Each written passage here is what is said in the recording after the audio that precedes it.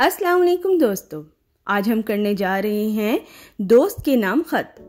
खत का उन्वान है, गर्मियों की छुट्टियों में सैर का अहवाल अपने दोस्त को खत लिखकर बताएँ।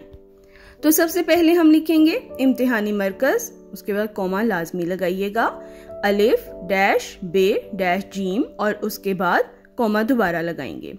उसके बाद तारीख जो होगी उसको उर्दू में लिखेंगे। फिर हम लिखेंगे, मेरे प्यारे दोस्त और उसके बाद इस्तफहामिया का निशान ज़रूर लगाएँगे।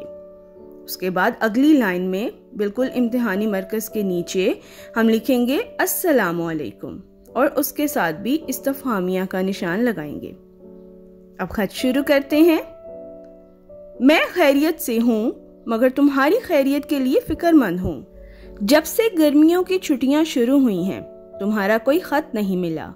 मैंने अपने पिछले खत में आपको बताया था कि इन छुट्टियों में मेरा कज़न कराची से लाहौर घूमने फिरने आएगा। इसलिए मैंने आपको भी लाहौर आने की दावत दी थी, मगर आपकी तरफ़ से कोई जवाब मौसूल नहीं हुआ। इनशाला सब खैरियत होगी। मैंने और मेरे कज़न ने मिलकर इन छुट्टियों में खूब सैर की। हम सुबह सवेरे ही उठ जाते थे। नमाज़ पढ़ने के बाद सुबह की सैर के लिए बागे जिना चले जाते थे। वापसी पर सारे दिन का प्रोग्राम बना लेते थे कि आज कौन कौन सी जगह देखने जाना है।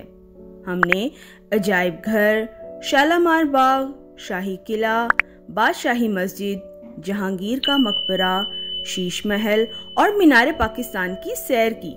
इसके अलावा हमने फ़ूड स्ट्रीट से खाना भी खाया। इन तमाम दिनों के दौरान मैंने आपको बहुत याद किया। मुझे उम्मीद है कि आप अगली छुट्टियाँ ज़रूर लाहौर में ही गुजारना पसंद करेंगे। अपने अबू जान और अम्मी जान को मेरा सलाम कहिएगा।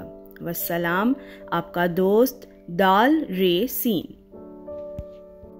तो प्यारे बच्चों, जब आप खत लिखेंगे, चाहे वो स्कूल में लिखें या आप बोर्ड के इम्तिहानात में लिखें आपने किसी भी जगह पर ना तो अपने शहर का नाम लिखना है, ना ही अपना नाम लिखना है। जो पैटर्न इस खत में बताया गया है, उसी को फॉलो करें। इनशाला कामयाबी आपकी ही होगी।